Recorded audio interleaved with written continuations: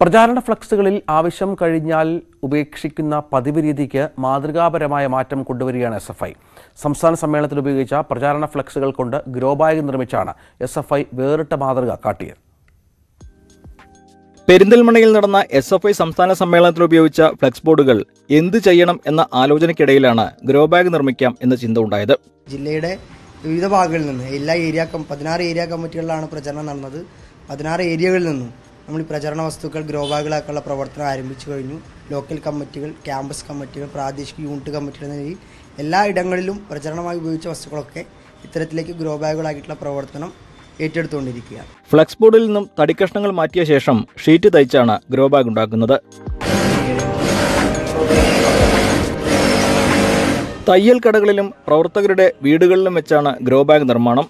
Grow ബാഗുകൾ ജില്ലയിലെ വിവിധ ക്യാമ്പസുകളിൽ ഉപയോഗിക്കും. Perinthalmanna P T M government കോളേജിൽ ഈ ഗ്രോ ബാഗുകൾ ഉപയോഗിച്ച് കൃഷി തുടങ്ങി.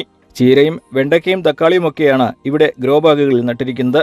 അപ്പോൾ പാരിസ്ഥിതികമായി വലിയ പ്രയാസങ്ങൾ അനുഭവിക്കുന്ന വർത്തമാന കാലഘട്ടത്തിൽ കൃഷിയെ വിദ്യാർത്ഥികൾ പ്രോത്സാഹിപ്പിക്കേണ്ടത് അത്യാവശ്യമാണ് എന്നുള്ളത് ക്യാമ്പസുകളിൽ നിന്നും നമ്മൾ വലിയൊരു മുദ്രാവാക്യം ഉയർത്തുക എന്നുള്ളതാണ് ഇതുമായി നമ്മൾ ബന്ധപ്പെട്ട് പരിസ്ഥിതി സംരക്ഷണവും. മൂവായിരത്തിലധികം ഗ്രോ ബാഗുകളാണ് നിർമ്മിക്കുന്നത്. ഈ മാസം പത്തിനകം ഗ്രോ ബാഗ് വിതരണം ജില്ലയിൽ പൂർത്തിയാക്കും. അഖിലോട്ട് പറകൊപ്പം C V Anumod news eighteen.